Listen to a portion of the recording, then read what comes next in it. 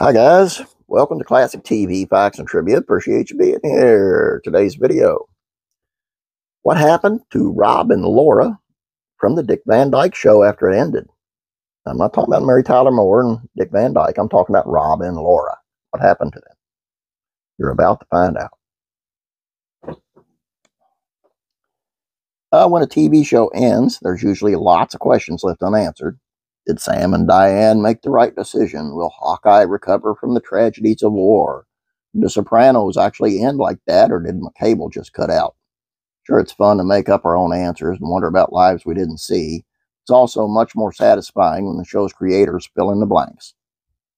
At the conclusion of the Dick Van Dyke Show, Rob Petrie has just finished writing a book untitled, a series of terribly important events in the fairly unimportant life of Robert S. Petrie. His wife Laura loves it. Publisher he sent it to, on the other hand, wasn't as kind. The rejection doesn't last too long, though, as Rob's boss, Alan Brady, buys the transcript rights and turns the book about Rob's life into a new television series. Even though the finale mostly plays out in flashbacks, the story ends in an enjoyable enough way. Watched Rob struggle for five years, and now he's getting a moment in the sun. Next chapter of the Dick Van Dyke Show saw the show's cast and creator growing larger than the characters they brought to life. Mary Tyler Moore went on to anchor her own series, The Mary Tyler Moore Show, uh, a show which is described by the New York Times, helped define a new vision of American womanhood. She was nominated for the Academy Award for Best Actress after her performance in Ordinary People. Dick Van Dyke starred in Roald uh, Dahl penned Chitty Chitty Bang Bang before returning to TV with the new Dick Van Dyke Show. Series creator Carl Reiner, too, saw greater demand for his work writing and directing a series of successful movies and building a strong collaborative uh, relationship with Steve Martin.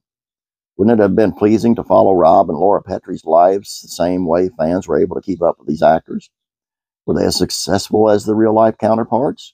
Did their careers reach the same heights? What about Sally?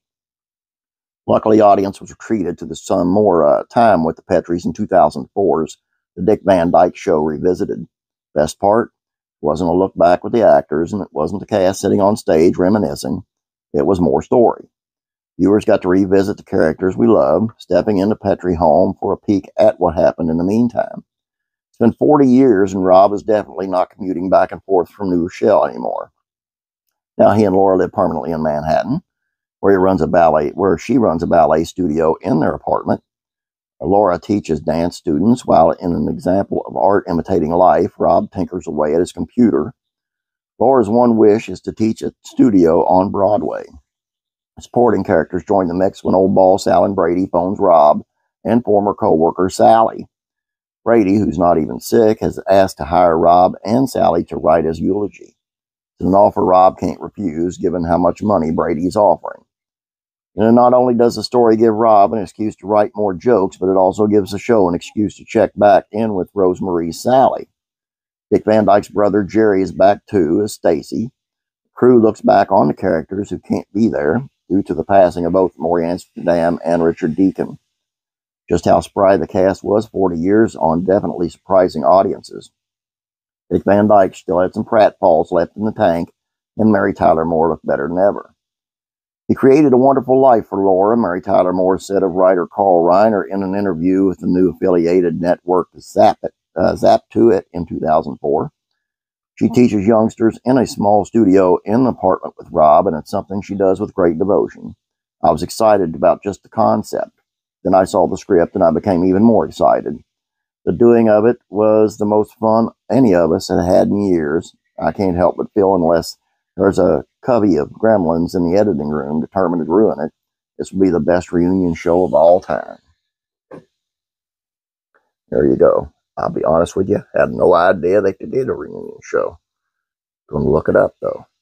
And now you know what happened to Rob and Laura. Well, and Sally. Um, that's all I have for you. Hope you guys enjoyed this. Please don't forget about classic rock and country music facts and trivia. Head on over there. Please subscribe. Have a great day. God bless. Be praying for you.